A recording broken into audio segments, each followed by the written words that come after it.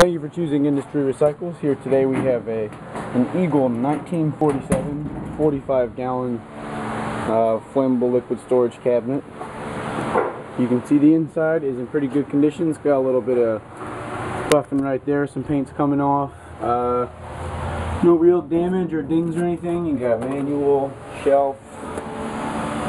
Uh, this up. Alright, now this side is pretty good. You got your vent here. Uh, no real damage on that side. On this side, you got a few dings. There's a ding right here.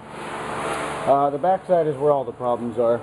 Um, looked like I had a pretty bad accident. You can see it's kind of gnarled a little bit.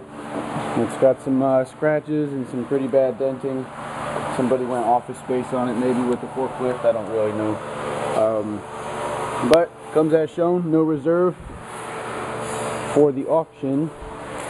You'll see all the other pictures and stuff in the listing. So just giving you a good look at it.